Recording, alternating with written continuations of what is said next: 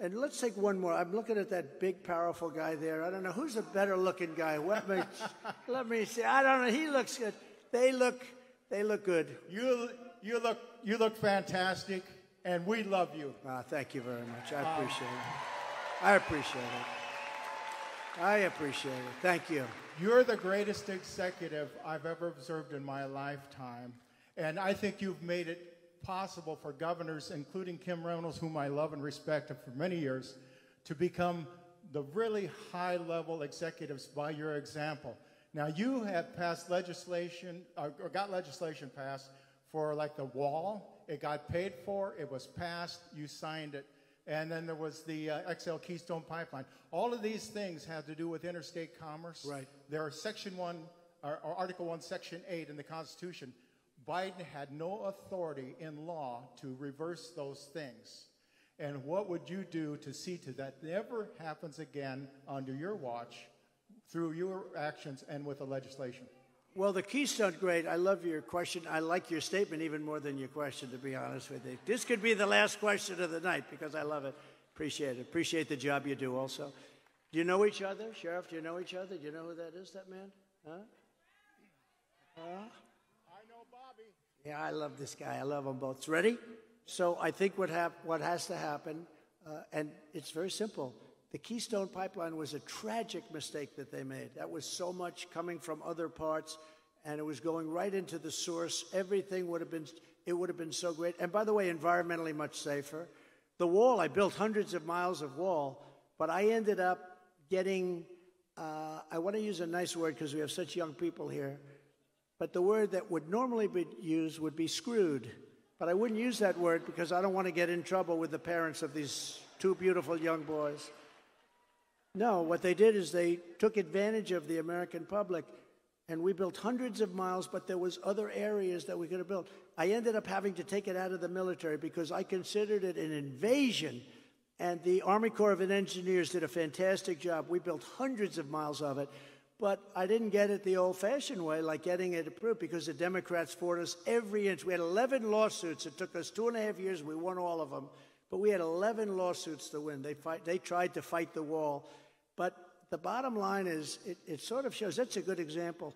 If you want to get something done, if you love our country, and you really want, if it's so important, you're going to get it done. You're going to find a way to get it done. This was sort of ingenious. We passed this big military budget but we couldn't get a wall built for a tiny fraction of that.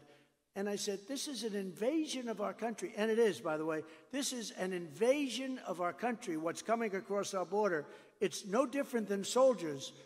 It doesn't work. You look at these cities, our great cities are New York City is a crime den, Chicago is a crime den. You look at these great cities, Los Angeles, San Francisco, you look at what's happening to our country. We cannot let it happen any longer. And one of the other things I'll do, because you know, you're supposed to not be involved in that. You just have to be asked by the governor or the mayor to come in. The next time, I'm not waiting. One of the things I did was let them run it, and we're going to show how bad a job they do. Well, we did that. We don't have to wait any longer. We got to get crime out of our cities. Thank you very much for a good question. The gentleman was um, exactly right. When uh, Trump was in office, he passed legislation, um, and the two of the legisla- legislations that he passed was to build a wall and also to um, for the XL Keystone Pipeline. And the minute Biden gets into office, he cancels them. And I'm, you know, when when I was watching that part of the video, I was just thinking like for a moment, on that day when Biden took office and he sat at that desk and he had a stack of binders and he's, you know, canceling a lot of the stuff that that Trump did, the world was such in a better place. We had no war, inflation was not inflation. Um, gas prices were not as high. We were making more money. There was more support for middle class. I can go on and on. You guys know. Um, it was a better place. Fast forward to today, it's like, it's crazy. And when Trump started to talk about, um, you know, how he was able to get money for the wall and, and how much of the wall he was building and stuff, Another thing that came to mind is if we can get a Republican in office um, in 2024, because of the way the world is right now, the war in Israel now, the war that's been happening in Ukraine, and over the last week, all the people who are coming out in our own country in support of Hamas and against hating the Jews, that is just crazy. We are just, we need a wall. We need our own border secure. So we need someone like Trump back in office so that he can, or a Republican that also agrees with um, building back a wall. You know, Trump was spot on in this video for the need of it and for the reasons of it. There was one um, part though, you know, in the middle, this is off that subject, in the middle of the video when um, he goes to um, the gentleman and the sheriff. Do you guys know each other?